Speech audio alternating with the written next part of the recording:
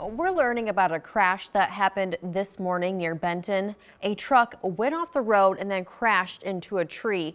This was a, this was at Alexander Drive and Benton Camp Road. Now, two people were inside that truck. One of them refused treatment and the other was injured. Authorities say that person was airlifted to a hospital. Of course, we'll keep an eye for any updates on the story and go ahead and pass those along to you.